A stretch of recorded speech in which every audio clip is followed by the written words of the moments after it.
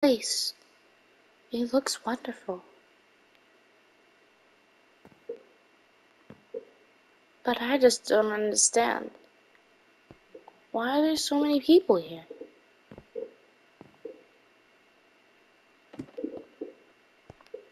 Hmm. Just mining all day long. Do they ever know what this experience is about? I sure don't.